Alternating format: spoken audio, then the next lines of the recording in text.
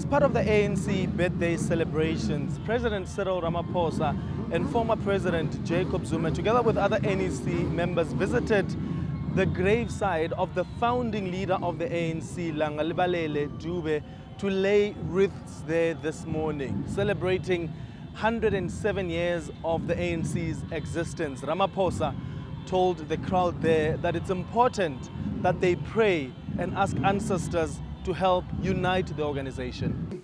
By coming here, we are coming to the foundation of the ANC. We are coming to the rock upon which the ANC house has been built. This is where the soul of the ANC resides.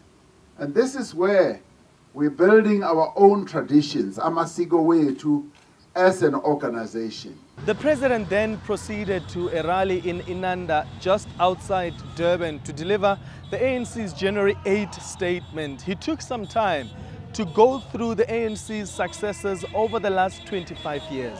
President John Langalibalele Dube, who was president from 1912 to 1917, we want to reassure Usifako Mapogo Makgatho, who was president from 1917 to 1924.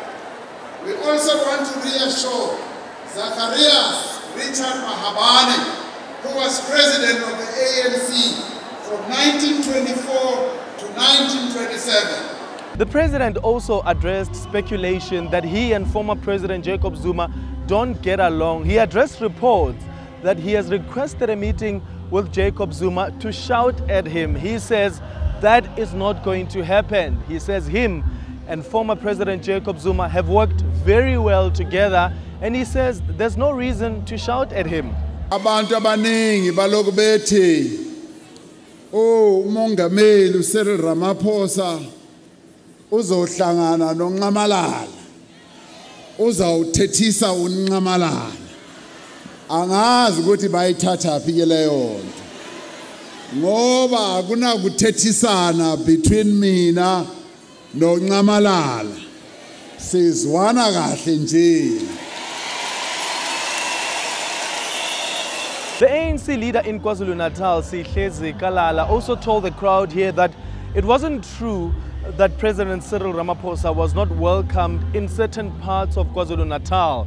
The party's head of organizing, Senzo Mchunu, told Eyewitness News they were concerned when they were preparing for the birthday celebrations that there would be other people who wanted to plan events that would be addressed by former President Jacob Zuma. This came up, we discouraged it.